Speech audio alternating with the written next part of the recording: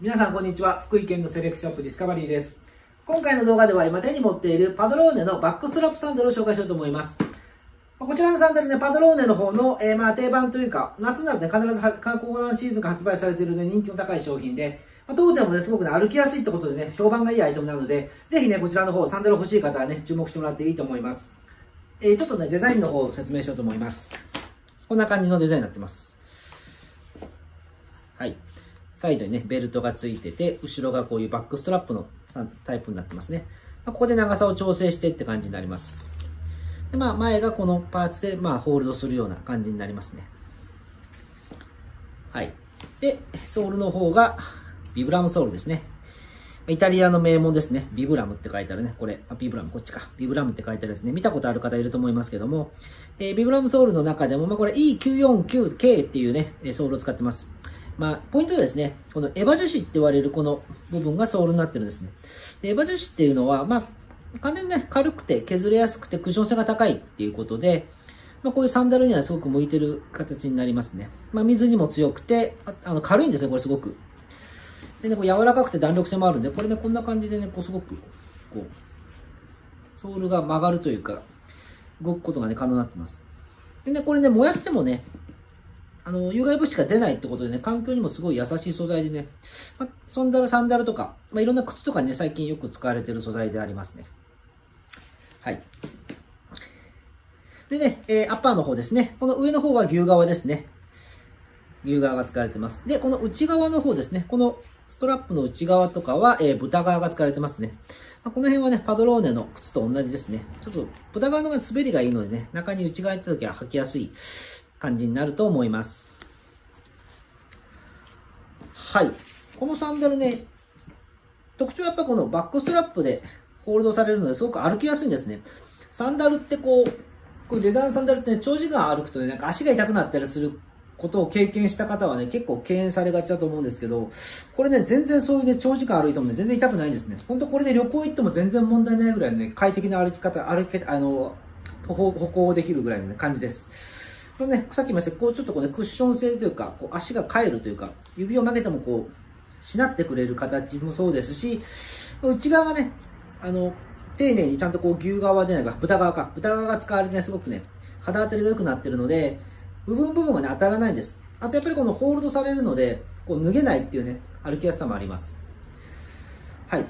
ま、今ちょっと私今下で履いてるんですけども、こんな感じです。こんな感じでね、こう、足を曲げてもね、大丈夫なんですよね。こう、疲れ、疲れないというか、痛くないですね。こう、ホールドされるから、こう、カパカパもしないですし、こう、つま先がどっか部分が当たって痛いみたいなこともないので、そういう面も含めて、すごく、ね、歩きやすく作られてるサンダルです。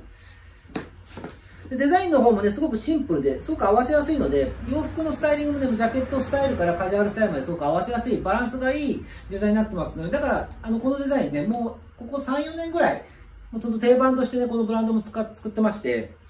当店でもさっき言ったようにね、最終的にすごく人気が高い。あの、あんまりね、人を選ばないサンダルなので、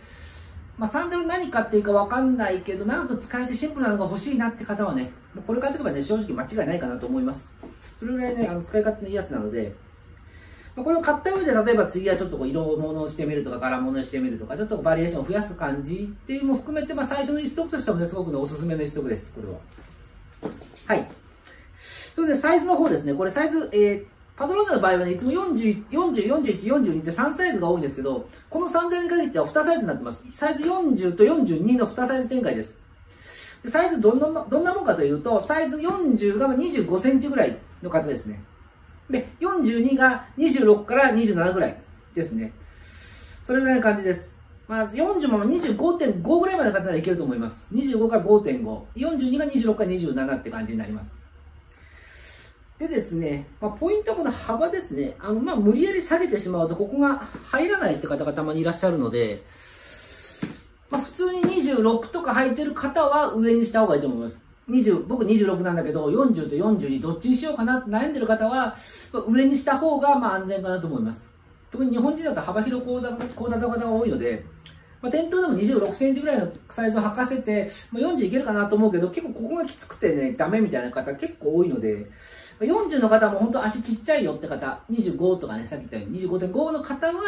40で、まあ、それ以外の方、上にしてあげた方がいいと思います。逆に27.5とか8の方はね、ちょっと42ともちっちゃいと思うので、ね、ちょっとそこはね、申し訳ないですけどね、ちょっと諦めてください。はい。では、こちらのサンダルですね。えお値段の方、税込みで18,700円になります。